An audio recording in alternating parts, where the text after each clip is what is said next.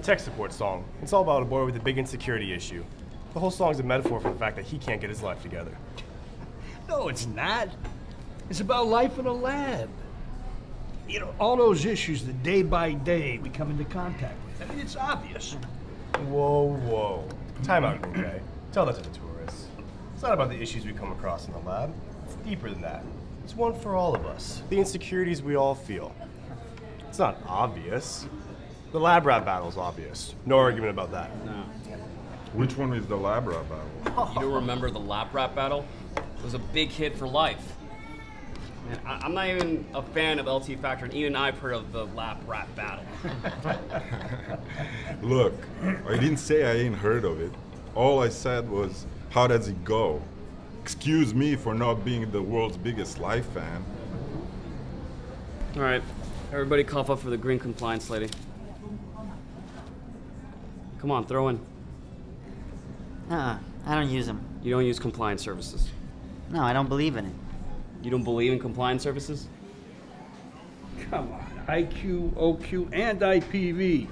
All integral parts of the validation process, and essential from both uh, business and regulatory perspective. Ah, don't give me that. It's just the balance between resources and the cost of non-compliance. Who would have the gall to say that? Uh, let me get this straight. You never use compliance services. The, what about regulatory standards, international, governmental? The, what about the time you're spending qualifying instruments, quality assurance, and uncovering future problems that'll lead to downtime? All right. Look, I'll use compliance if it's absolutely necessary. If it's an absolute requirement, I'll use it. But this using compliance automatically is for the birds. I mean, as far as I'm concerned, we should just leave it to chance. Hey, you know what? These compliance guys are great. They do a risk assessment, and the CSV is an on site validation that's going to help you meet your global requirements. Yeah, they're okay, but uh, nothing special. What's special? Do the research for you? Look, I already ordered my instrument, right? And it's been working just fine up until now. Yeah, but how do you know that your instrument is working to the manufacturer's specification? A PQ can help to determine that for you. Ah, no one's come knocking. And if it does go down, I can just find somebody in house who can bring us back online. In house? Do you have any idea how much that's going to cost you? No, no, no. Leave it to the guys at Life. Leave it to the experts. Nah, I'll run that risk. Excuse me, Dr. Pink, the last thing you need is an instrument going down, costing you all sorts of time and resources. Hey, these are well made things.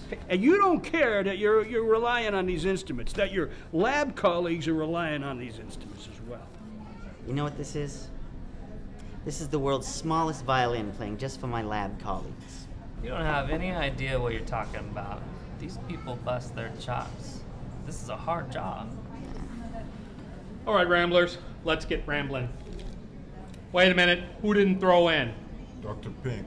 Dr. Pink, why not? He don't use compliance. You don't use compliance, why don't you use compliance? He don't believe in it. Shut up. What do you mean you don't believe in compliance? Come on, you, cough up a buck. All right, I'll put in, but normally I would never do this. Don't worry about what you would normally do. This is a real lab with GMP, GLP, GCP, and ISO 9000. So open your wallet, dust off the moths, and pony up a buck like everybody else. Thank you.